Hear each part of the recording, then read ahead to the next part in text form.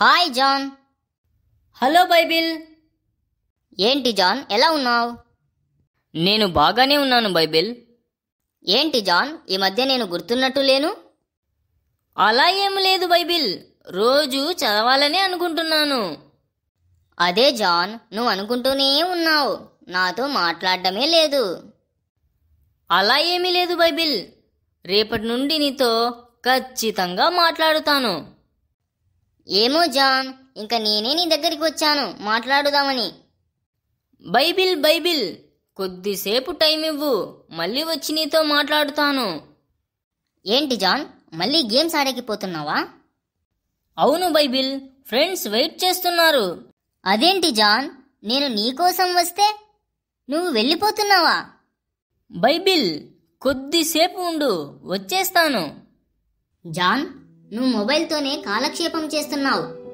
రోజూ నీ సమయాన్ని వృధాగా ఫేస్బుక్లో వాట్సాప్లో యూట్యూబ్లో పబ్జీలో గడిపేస్తున్నావు. యేసుక్రీస్తు వారు నీకోసం ఈ లోకానికి వచ్చాడు.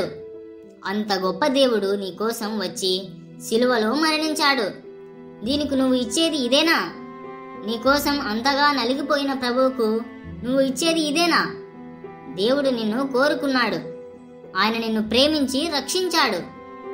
యేసుక్రీస్తు వారు సర్వలోకానికి వెళ్ళి సువార్తను ప్రకటించమని చెప్పాడు. ఇప్పుడున్న టెక్నాలజీతో నువ్వు దేవుని కోసం వాడితే దేవుని నామం మహిమపరచబడుతుంది. ఈ రోజు నుండైనా దేవునికి సమయాన్ని ఇవ్వు. ఆయనతో గడుపు. ఆయన సువార్తను ప్రకటించు. ఇంత శ్రేష్టమైన గ్రంథాన్ని దేవుడు నీకు ఇచ్చాడు. దినములు చెడ్డవి గనుక సమయమును పోనీయక సద్వినియోగము చేసుకొనుచు అజ్ఞానుల వలె కాక జ్ఞానుల వలె నడుచుకున్నట్లు జాగ్రత్తగా చూచుకొనుడి అని వ్రాయబడి ఉంది. కాబట్టి జాన్ ఈ రోజు నుండైనా నువ్వు వాక్యాన్ని చదువు. జాన్కి మాత్రమే కాదు మీకందరికీ చెప్తున్నాను.